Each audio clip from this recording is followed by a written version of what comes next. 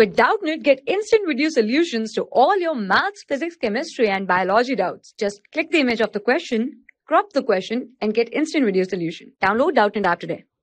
Hello everyone, let's start the question. The question says that the correct statement is, so you are given with four statements, you need to tell that which statement is correct. So let us start with the first one which is aniline is a froth stabilizer. So yes, this statement is correct. Why? Because aniline is used as a froth stabilizer. As a froth stabilizer in froth flotation process. In which process?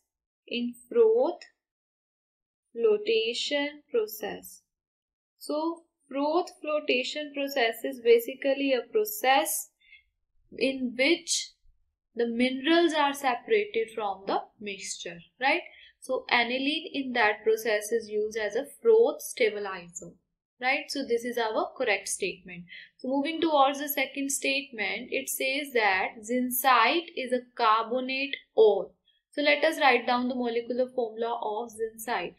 So zincite is ZnO. Now you can see that zincite contains the ore of zinc and not of carbonate. So therefore our option number 2 is incorrect. This statement is incorrect. So third one is sodium cyanide cannot be used in the metallurgy of silver. So yes, this statement is also incorrect. Why? Because sodium cyanide, sodium cyanide is used in the metallurgy of silver. Also, we cannot extract silver. We cannot extract silver from its ore without sodium cyanide, right? So this is our incorrect statement. So last statement is zone refining process is used for refining of titanium. So this statement is also incorrect statement. Why?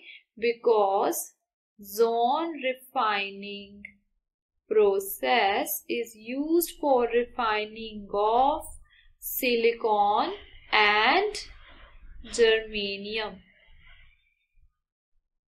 germanium so this is incorrect statement. Why? Because zone refining is used for refining of titanium. So first statement is correct statement. Thank you.